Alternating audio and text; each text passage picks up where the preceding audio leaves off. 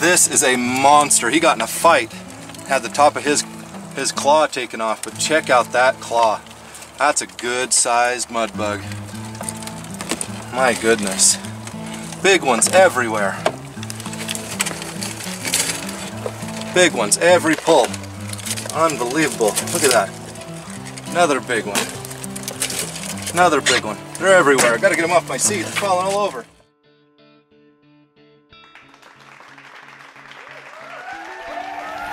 Hey Jerry, how you doing, man? I'm doing great. Good. Hey, welcome to Crayster Crawfishing this year, man. What's going on?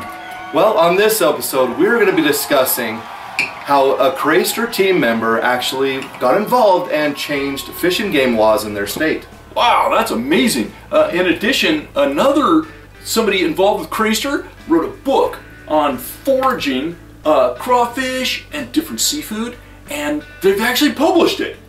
That's sweet. Yeah, heck yeah, man. We also have another Crayster member that is uh, he's aspiring to become a commercial crawfisherman out of Yeah. the state of Nevada. Yeah, excellent. Yeah, and then and then another thing that, that's kind of interesting.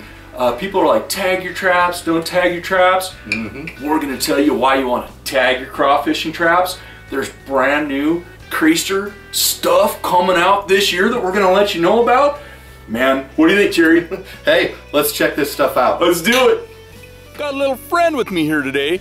I've got a little guy called Mega Claws. There are some monster sized crawfish out there, lobster sized crawfish. Have fun catching them, and I can't wait to see all of you guys' pictures this year. If you just found us and you're new to the Crayster community, Mike, how did Crayster get started and how did it come to be? You know what? There was one kid that had this spark in his eye. He loved fishing, he loved crawfishing. He had to know everything about crawfishing. And that spread to the love of crawfishing within that family. And then that family, their friends started crawfishing. And then it, the community grew. And it grew. Now, Crayster is the largest wild crawfishing group in the entire world. And we have millions of people that, that come and communicate and learn how to crawfish, take their families on great times. You know what? It's amazing how something starts and over the years it just builds. And people on our Facebook pages, YouTube channel, they make friends and we, we share information freely. Um, we've come up with better ways of crawfishing. We come out with products and different things, but really it's all about the relationships in the community. Now let's go check this out.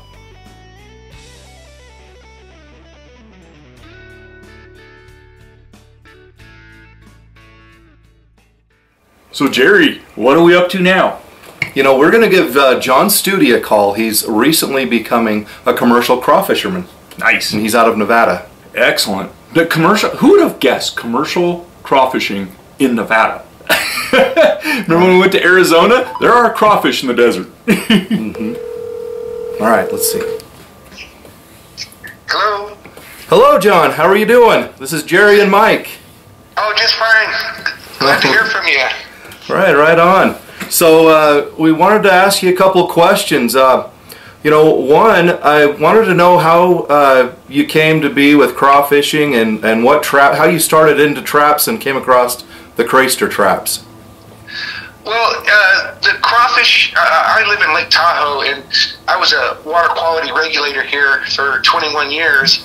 And the crawfish are considered uh, an invasive species and detrimental to uh, lake clarity. Uh, the way they process nutrients kind of helps the algae to grow. And so I kind of was following a previous company who went into the commercial crayfishing in Tahoe from 2012 to 2017, and then they kind of disappeared. And it left a void. Nobody was doing it for the last five years. Huh. And I kept looking into it, thinking, why isn't anybody doing it? it's a really good business. Right. and, the, and the more I learned, the more I was committed to doing it. And then uh, last summer, uh, uh, I started experimenting with traps and baits. And so I got the Crayster traps, which I found uh, just on the internet, and I was immediately attracted to them because I grew up in Idaho, and I was come, come from Idaho, so all my family does. So uh, I did experiments this uh, last summer, summer of 2022 uh, different commercial traps. And so there was a couple of brands that were two foot by two foot by 10 inch tall boxes with the, the conical ramp uh, entryways. Uh, and and then I tested those against the the, um, the Snake River traps, and and basically the Snake River traps are getting as much as more as the traps that were twice as big, and so from a you know efficiency point of view of how many traps can I get on my boat, I can get twice as many trap you know. Uh, uh, uh, Snake River traps and get just as you know twice as many uh, crawfish as using the bigger traps. So that's kind of what got me into the the uh, the Craysters. And then after my testing was pretty well done, then I, I bought a whole bunch of uh, snake river traps getting ready for next year. And the, the thing I'm going to do, you know, following the, the lead of a, uh, a PhD thesis that was done in Tahoe and published in 2016 uh, by a fellow, I John Umek, U-M-E-K. Um, he used paired cylindrical traps. And, you know, he did a lot in both sides of the tra- you know, paired trap. So I'll be trying that this uh, starting out in, in April or May of this year of 2023. And so I've got about 30 paired traps right now.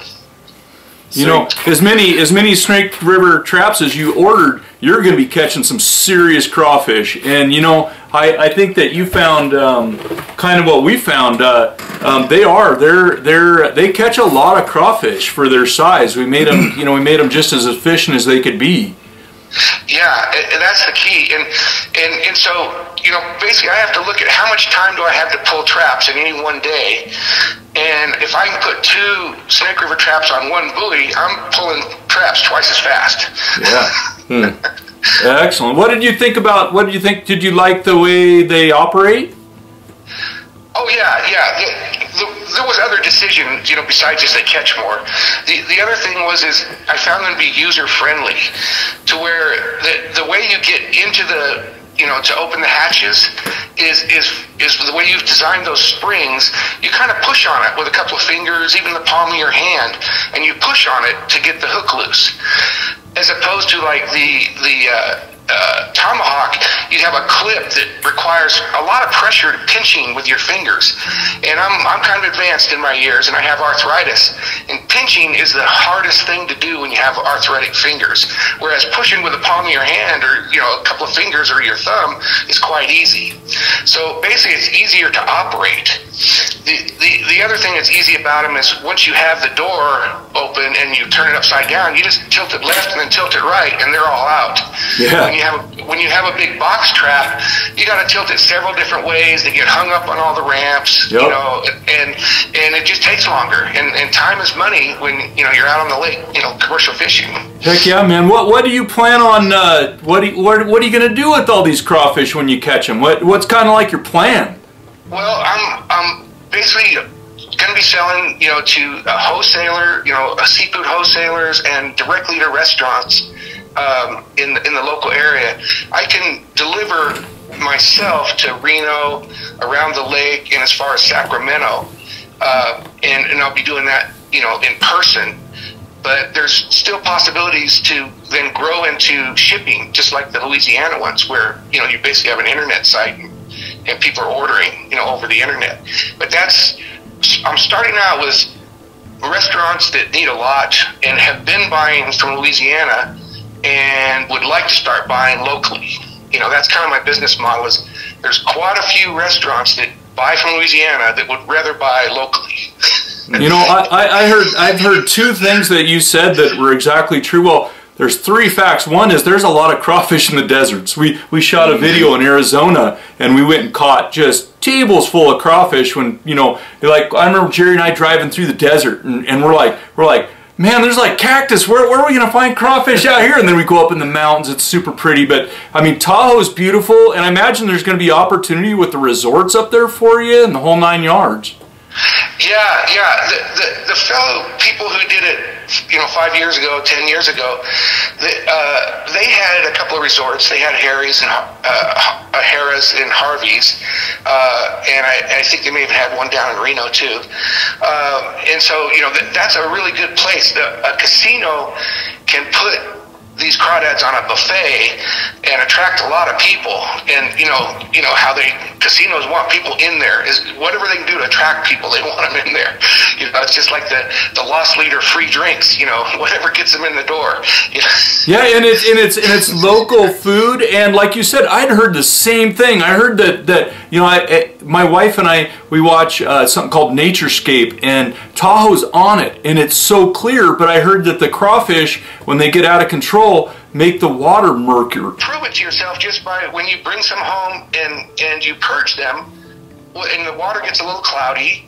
Well, that's the same thing that was going to happen in the lake. Yeah. Gotcha. and, and there's there's estimated to be 300 million of them uh, in the lake. 300 about, million. About, about 9 million pounds is the scientific estimate of how many are in the Lake Tahoe. Wow. Hey, you know what? Uh, one thing uh, we'd like to get up, uh, if if you'd allow, you know, this summer we're thinking about maybe in July coming up and going out on your boat and and uh, maybe shooting a video with you. What do you think about that, man? Oh, that'd be great. That that'd be great. Yeah. Let's plan it. The, the, the other part of this is is this isn't just you know da- you know a spillway of a dam. This is Lake Tahoe. Yeah. yeah. I I don't really have to think about paying deckhands. They'll pay me to go out there. I love Tahoe. I've been to Tahoe many times. I love that. It's such a beautiful place, for real. Yeah, yeah, it, it is. I retired a year ago, and, this summer I was out on the boat, and I'm sitting here with my pilot houseboat going, this is my new cubicle, looking around at the blue and the mountains and everything, and this is my new office. Hey, John, I'll tell you what, I, I know one thing and we're going to wrap it up.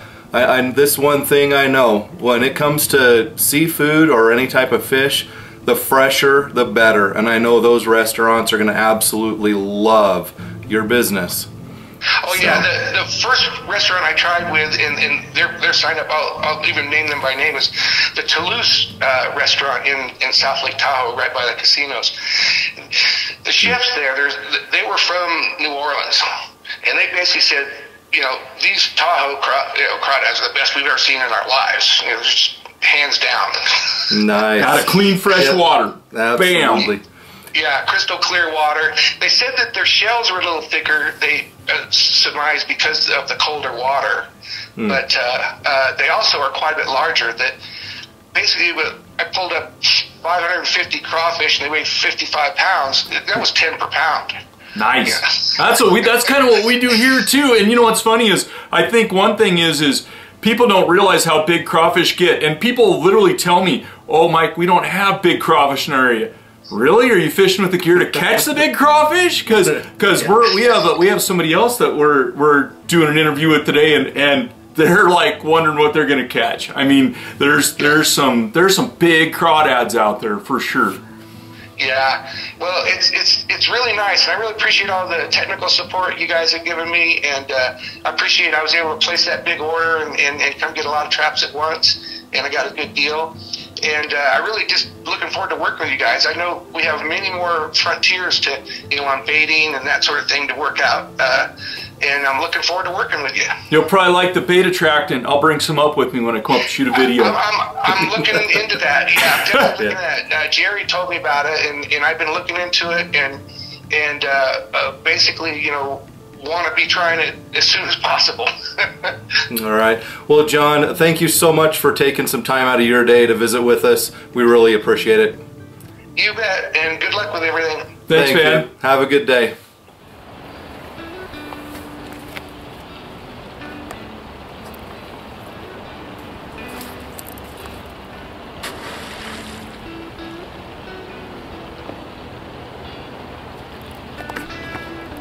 Discussing tagging your traps. Now, I tag my traps. Mike, do you tag your traps? I tag my traps. And why do you tag them? What, what's the purpose? Well, in the state we're in, legally we have to tag our traps with our with our name and our phone number. You know, in case they get lost, uh, or if Fishing Gate comes along and and you're leaving them out overnight or something, they can kind of see what's going on, who's doing it, you know, things like that. So what are the benefits of uh, tagging your trap besides just being compliant? Well, I'll tell you one big benefit to tagging your trap. Okay, so um, I'm gonna put a picture right up here, and uh, um, I was out on the lake, and uh, me and my buddy Jason and Justin were, were trolling along in late November. Well, the lake drops way down, right? and it's kind of like all the sunken treasure comes up. we find crawfish traps. We find a lot of crawfish traps, and and people lose them. And so we're we're trolling along for trout, and my, my buddy Jason goes, "Hey, Mike, can you pull over on the on the side of the shore?" And I'm like, "Oh, maybe it's a bathroom break or something." And I go, "I go, sure." And he goes, "Because I'm gonna pick up that Crayster trap sitting right there on the shoreline." And I'm like, oh, "I'm Wow. like, what?" And the water gone down, brand new lake trap sitting right on the shore. And I'm like, "No way!" I didn't see it. And so I pulled over. He he goes out and he and he picks it up and he's showing it. And uh, guess what? It wasn't tagged with a name or a phone number. Hmm. And what it looked like, it had it was a Crayster trap with a Crayster line on it. Looks like they forgot to put the buoy on it, and they Oh, put no. it over, and whoop, the whole thing went down in the drink. And uh, I couldn't contact. I would call the person and tell them, "Hey, man, I found your trap. You want it back?" That's Yeah. just one big benefit right there, besides the legalities. Now, the next year, Jake and I, we're going through this place we call Video Bay because we've shot a lot of our underwater video in this bay. And Jake's dropping traps. He's, he puts one trap down, lake trap down. Then we go a little further and he puts another one down. And I'm looking into the water and I think I see what appears to be a buoy. And it's like like three feet underwater. And I didn't want to bug Jake because he's trying to drop the traps, you know. And then as soon as he drops that one, gets all settled, I said, Jake, think I saw a buoy like way underwater back there. You want to go check it out? And he's like, he's like, yeah. So we put around. And sure enough, I look down and I see this this buoy underwater, and I'm like, it looks like it's still got ropes spooled up on it. And I'm like, I grab the fishing net and I, I start hitting it, and it unspools and it comes to the surface. Hmm. And I'm like, I'm like, really? So Jake pulls it in. Here's a picture of Jake with that trap. It's this trap right here, man. And it had this orange buoy on it. And it, it had like, it's it's like a real buoy, but like prehistoric. Oh yeah. Yeah, yeah. And uh, but it was a it was actually a really early Crayster trap. Guess what this trap had on it? A tag. A tag. it's funny. I pulled it up. This gentleman's actually been to some of our Crayster boils. We had these big crawfish boils. Well, guess what? Guess who I'm going to call and get this back to? Yeah, The yeah. owner of the trap. I'm gonna call the owner of the trap and I'm gonna give this trap back to him. I'm probably gonna make a video out of it, but I'll, I'll probably invite him over to the shop and give his trap back and, and talk about why you tag traps. But uh, but man, I'll tell you what, sounds like a pretty good reason if you, you lose your good trap and you get it back. Makes sense to me. Uh, how hard is it though to tag a trap? Like it really like, easy. What what what would you do? Where can I where can I get a tag if I wanted to put my own tag? what I what I, I did- know, but What I, I'll tell you what I did. Everybody does it different. I mean, you can you can write it or whatever you want to do or inscribe it in metal. I went onto eBay and I put my name, address, and telephone number, mm-hmm. and I just have these dog tags. They were made them for like a buck fifty each, and and they shipped them to me for free. And I was just like, I'll take twenty of those. I made I made ten for me and ten for Jake. Just strap them on the trap. Out they went, legal. Off we go. Somebody, if I lose trap, somebody finds it, I might even get it back. So there you go. Tag your traps. It's very important. And if you lose a trap, you just might get it back. Yeah, yeah. All right, on we go.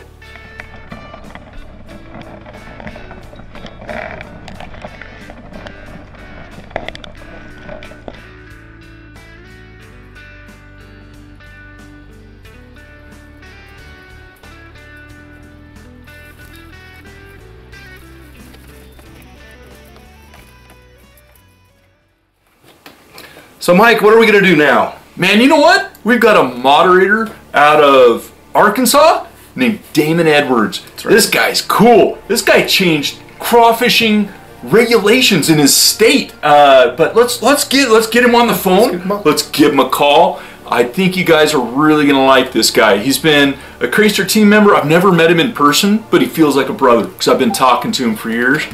We're gonna get him on the phone. Philip. Hey, Damon, it's Mike and Jerry. How you doing, man? Hey guys, uh, not too bad. I got this really bad fever right now called crawfish fever. We've got that too. It's it's still a little cold here, but we're ready. I was like, oh, I hope you're all right. mid sixties, mid sixties is sunshine here today. Oh, nice. Looking looking to almost hit 70 here at my house tomorrow. Very nice. So, uh, yeah, I'm, I'm getting the fever bad right now. Been out the shop. Very nice. We we were we were kind of bragging about you a little bit before we got on the phone. Um, Oh, yeah? we've we've I've known you for I've never met you in person, but I've known you for a while, and you've been involved with Crayster, and there's kind of some big news in Arkansas. Um, we hear that uh, your guys that, that you were involved um, with with some big changes in Arkansas, taking crawfish from being a bait to being something that people are going to consume. You want to maybe tell us a little bit about that? Well, um, I guess we've known each other over four years because this process started four years ago. Um, you know, and, and basically what started it was I bought a Crayster trap and then found out uh, just by accident that it wasn't legal. And then I found out, oh my gosh, the other traps that I've been fishing with weren't legal either. Wow. And so, uh, what I found out was that the Game and Fish here in Arkansas uh, looked at crawfish strictly as bait, and their regulations were based on catching bait. So we had, you know, certain restrictions. You couldn't have uh, the one inch by half inch wire mesh that your traps are made out of, and most of the traps are made out of. Not legal. Had to be half inch square. So that meant I had to wrap the traps in a, uh, a plastic uh, hardware cloth, they called it, and use zip ties to secure it on there so I would meet the half inch requirement. Um, you know, little things like the, the throat size on the, uh, the cylinder traps, Crayster cylinder traps, they're two and a half inches. So- Well, I so- could only have two inches. So you did something extraordinary. Um, you actually like like started talking to people and, and got things changed. What what happened there? Well, what happened is once I found out what was going on, my first instinct was, well, this isn't right. We need to change these regulations. So I called uh, Arkansas Game and Fish Fisheries and started speaking with them and uh, asked the question, how how do we get regulations changed? You know, and why do we have the regulations we have? Because I wanted to to really understand it uh, turned out the fact that I approached them in a professional manner and, uh, you know, was very, you know, professional in the way I spoke with them. I didn't fuss, I didn't cuss, I didn't raise Cain. I was really trying to learn. So they started giving me information. And I found out that if I presented a proposal, that that would actually be looked at by the commissioners and so that's what I did. I submitted a professional proposal, and I, I just went by to drop it off, and found out that the chief of fisheries at the time, he wanted to meet me because nobody had ever done it the way I was doing. That's And so amazing. he ran upstairs and he said, "You must be the crawfish guy."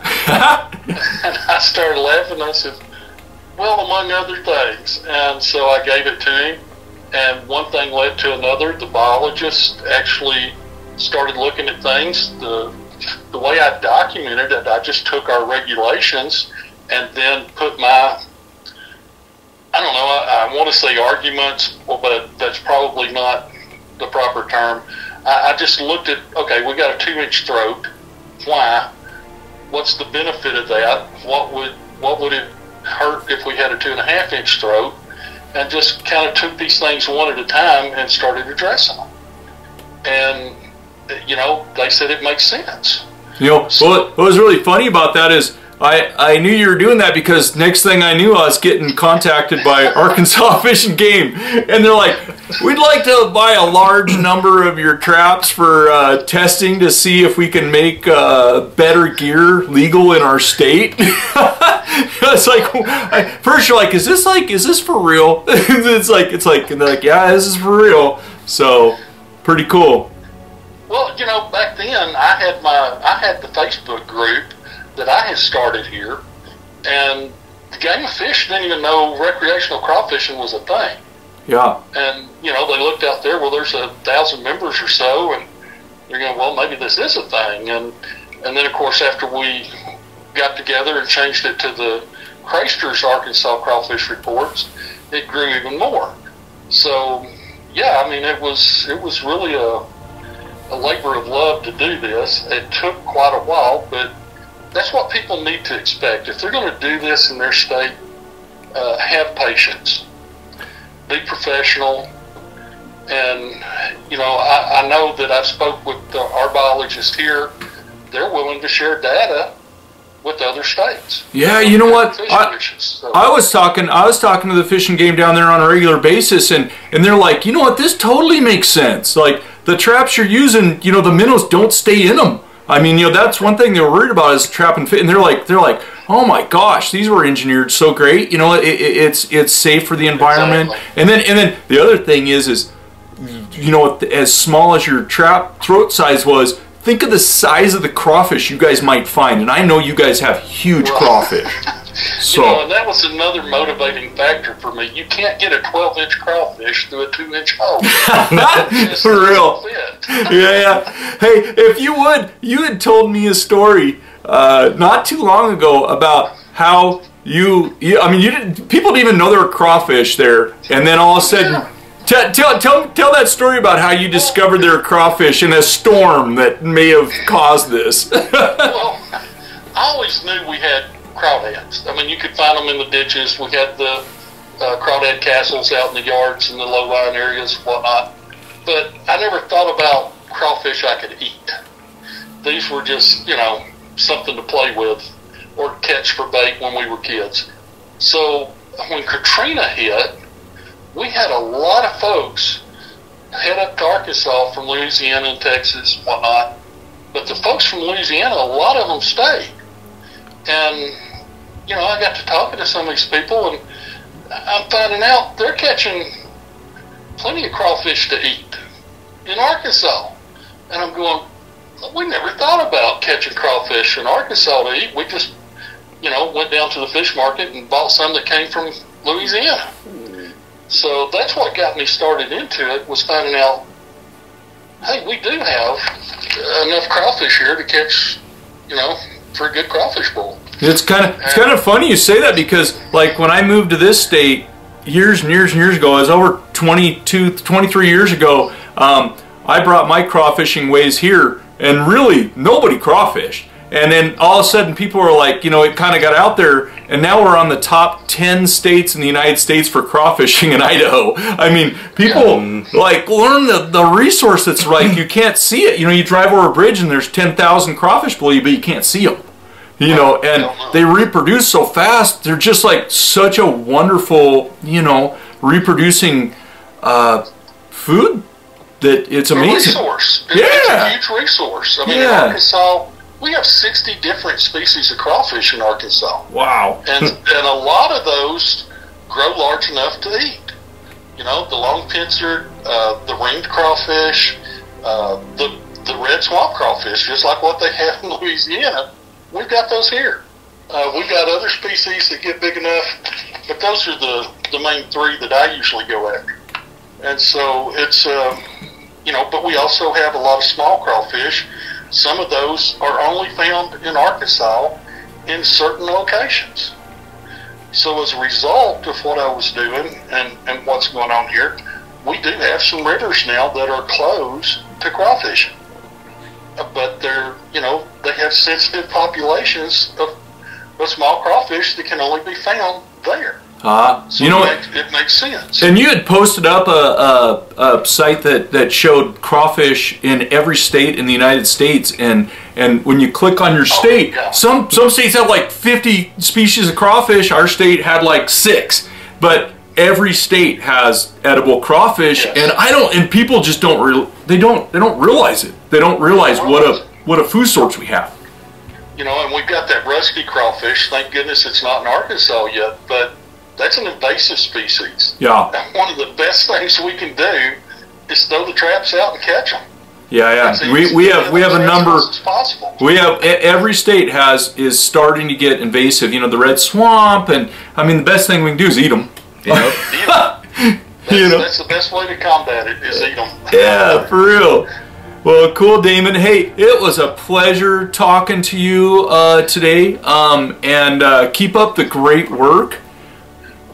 I- I'd like to say one more thing, Mike, before we're done. Absolutely. Uh, if, if you're in Arkansas, check the regulations. A lot of stuff has changed. We now have to tag the traps. We can only fish with 10 traps at a time. So, you know, and you and I both know if you got a good spot, 10 traps, there's no way you could eat everything you caught. We, we Jake, Jake and I go out with five traps, and we can catch a hundred pounds in an evening. We go out with five traps each, which is ten traps total in our boat, and uh, we we have to throw them back. People get mad at us. Jerry and I on video, it's like we've caught too much, and we start dumping them back in the water. People are like, don't do that. It's like, well, we can't eat them all. well, and I do, I thank y'all so much because I'm not sure we could have done this if it hadn't have been for the cooperation of Crayster and, and the contribution that y'all made by supplying those traps. Uh, it was it was a huge deal. They thoroughly field tested them, and now I know for a fact that the guy that uh, the biologist that tested them actually got his traps the other day that he ordered. So Yeah, he was we- very his personal with order. traps. We've been getting a lot of orders from Arkansas. The the word's getting out, and uh, and Damon, uh, you're a first class guy. Uh, not many people would go out and do what you did to to change your laws. Great job, man. It's probably gonna make a difference in a lot of states. thank you so much. And, and again, if anybody get on the Chrys- Crayster, uh, send me a message. If you need help with your state's regulations, I'm happy to tell you what I did. Awesome. Thank you, Damon. great. You have a great day, man. It's great talking to you. Y'all too. Bye. Oh my gosh, look at that. We, Jake and I couldn't eat all those crawfish.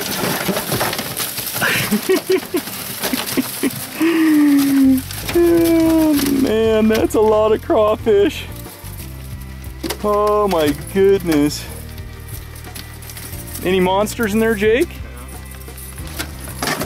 There's a nice one. Look at that. Heck yeah, man. Oh, he's like, he's like, I'm a lobster. Oh yeah, man. Holy cow. Oh, yes. We've got new product, Mike. We do. We absolutely do. So, you remember that time uh, me and you were out there fishing and we were trolling for some trout and I catching trout, having a good time, and I said, Mike, would you ever want to do a boil mix or a seasoning mix for some crawfish? Yeah, I do remember. And I was like, Chad, I've been wanting to do our own branded mixes, and I've got an amazing idea, but I have no idea how to do it. And then what do you say? I had no idea he had like knowledge of this kind of stuff. I, I told him I grew up in a small town. I've got some knowledge of how to make some Creole mix or some just steak seasoning mix, and let's get it done. Well, what are we waiting for? And I'm like, I'm like, well, I have no idea. And he he had the contacts, he had the how-to, the whole nine yards. I'm like, are you serious? We're sitting here fishing. We've been crawfishing buddies forever. and but it took him to ask me, and I'm like, I'm like, oh man, I'm like, I want to reproduce the best situation that I remember. I, now I remember going out crawfishing. This is something that I haven't shared. Okay, the early days before Crayster, before Crayster YouTube, um, me and my buddy, we'd go out in the sun and we'd put firewood in the boat. Okay, and we would we would take a pot and and we'd go out and we'd catch crawfish and we'd take them back to shore. We'd make a campfire, and then over hardwood campfire we'd cook crawfish and the, the smokiness and the, the flavors that we used, you know, we used a Louisiana kind of boil mix, but, and then the smoke and everything, it was like the best times I ever remember. And I was like, I want to recreate that. I want to have a boil mix that's like, like, it's like you could do it in your kitchen or outside and it'd be like you're at the campfire. So you're telling me you want to have a boil mix that is like the smell of the campfire and maybe do like a campfire Creole? That's exactly what we did. And and and not only that, but we cut up lemons and put it into it. Oh my and, goodness. And everything we My do mouth is watering. everything everything we do with Crayster is like over the top.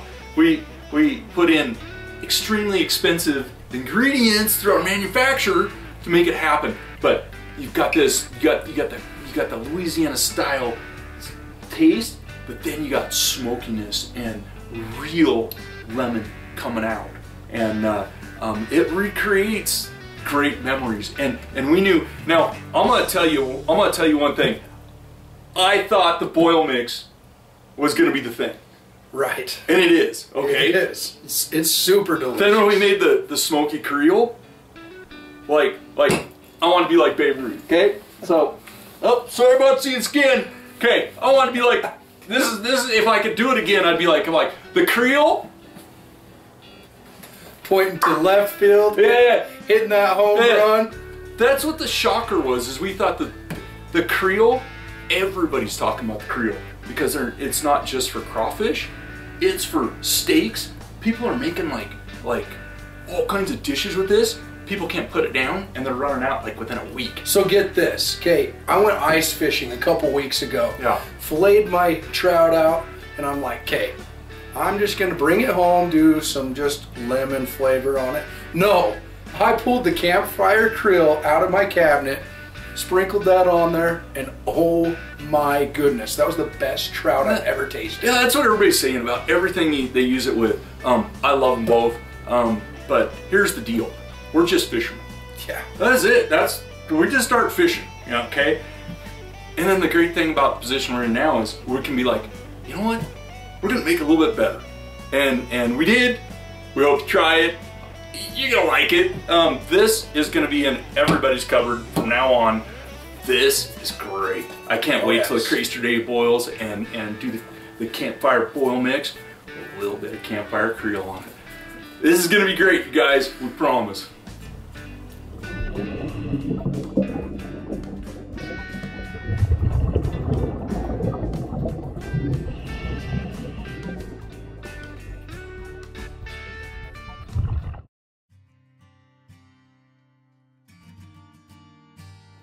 You know, we had something really special happen um, just recently. We had um, one of our Crayster Oregon members, um, Danielle Bowers. Um, she she actually joined our Facebook page, and something really cool happened from it. Jerry, do you want to read um, Danielle's words and, and what she put on Facebook? Absolutely. She says, Hey y'all, I've loved being a member of this crawfish Facebook group. Our family has experienced many adventures crabbing, clamming, and collecting other seafood while foraging on the Oregon coast. Many memories made and immense knowledge gained, especially with the support of this community. Our love of shellfish really began because of Crayster. I've been so inspired by both crawdaddying and the coast that I wrote a field guide on the subject. And I've got the field guide right up here. Um, you know what? When you look at the pictures of the family going out on these adventures and getting all excited through one of our pages, Yep. writing a book, I mean, it's Yeah. awesome. Well, it's awesome, man. I mean, I I mean, you've told me stories about your family. Chad's told me stories about, and I, and you guys know the stories about my family. That's what it's all about, man. What do you think? I love it. There's uh, so many people that have been inspired by Crayster over the years that have shared their stories with me, and here's another. Um, just amazing. You know, and and I will put um, a, a link to her book um, in the comments of this YouTube video. And so, if anybody wants to go out and and get her book, you know what? I was thinking this is for this is for Oregon. This is going to apply to Washington, California coast also. Absolutely. I mean, I mean, this is just going to be a great book. Danielle, way to go! I mean, Good job. Good job, and, and way to be a super mom and your family. Your family's beautiful. Hey! Wow, that's a lot of crawfish. Look Let's check the out the cooler. cooler. Ready? Checking out the cooler. Check out the cooler. Boom!